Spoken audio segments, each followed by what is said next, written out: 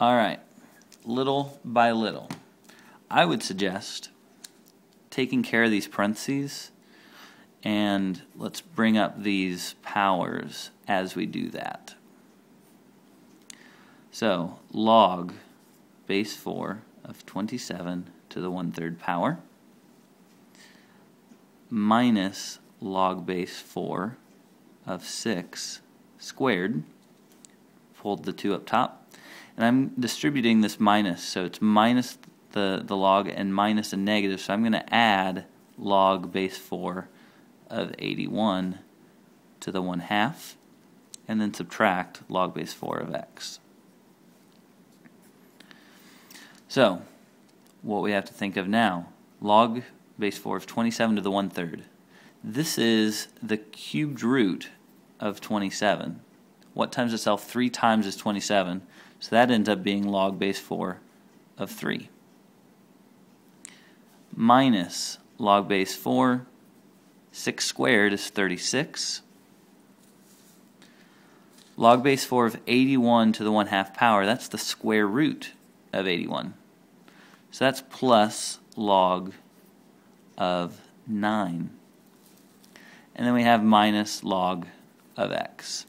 So what you have to realize is that these positive ones, log base 3 and log base 9, are going to go up top because they're going to be multiplied. And then the minus ones, because they're being subtracted, are going to be divided by.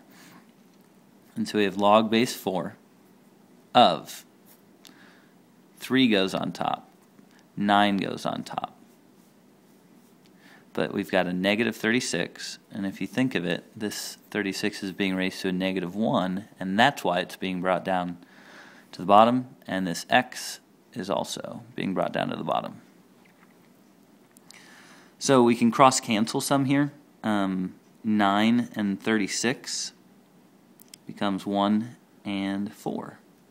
So we get log base 3, sorry, base 4 of 3 over for x.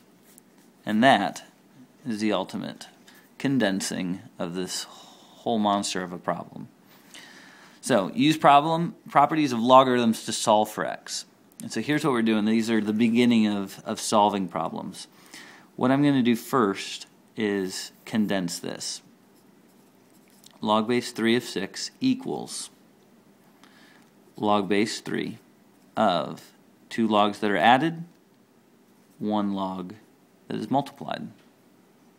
So now we have a log base 3 of 6 equals a log base 3 of 3x. And so what we can say is logically, if we're taking the log of one side and the log of the other, the 6 has to be equal to the 3x.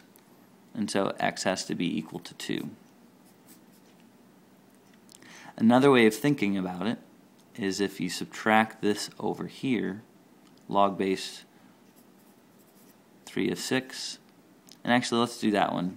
Let's do the second method with this one over here. So let's isolate the log of x first by adding log base 3 of 3 to both sides.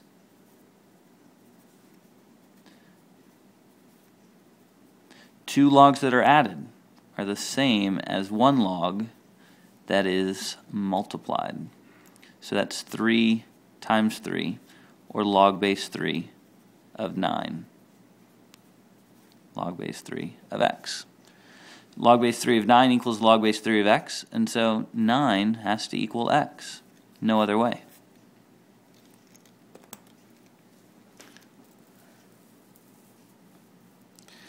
So this time, two options. We can either say this x has to be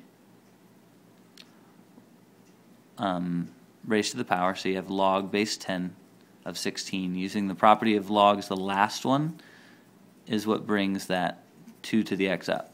Log base 10, 16. Log base 10 of 2 to the x. So 2 to what power is 16? Well, 2 to the fourth power is 16. And finally, when we've got an x inside here, what, what can we do? Well, for one, this we should recognize as being um, that property of um, of logs. That's one way of recognizing it. Log base 4 of 4 is just 1 until you have 1 third log base 4 of x equals 1. Um, and then we can multiply by 3. So log base 4 of x equals times 3 times 3. And then convert it to exponential form. 4 to the third power equals x. So 4 times 4 is 16, times 4 is 64. That's one way of doing it. Um, and another way of doing it is if you took your one third and raised it to the power, log base 4 of x to the one third equals log base 4 of 4. So then x to the one third has to equal 4. So if we cube both sides now, because we're undoing the one third power, we get x 4 cubed 64. And there we have some properties of logs put into good use.